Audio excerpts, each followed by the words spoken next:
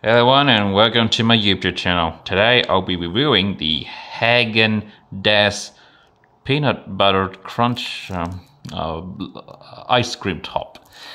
Well, this one has um, chocolate on the outside. There we go.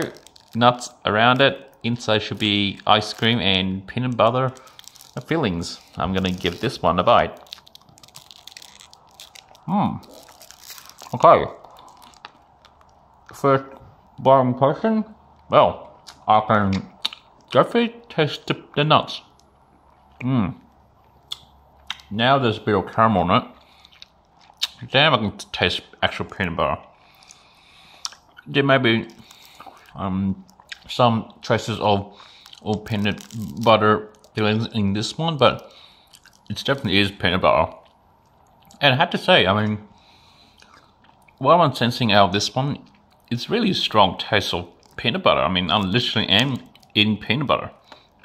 I mean, usually other peanut butter flavors will be just merely mimicking the actual contents of peanut butter, but this one is right on the spot.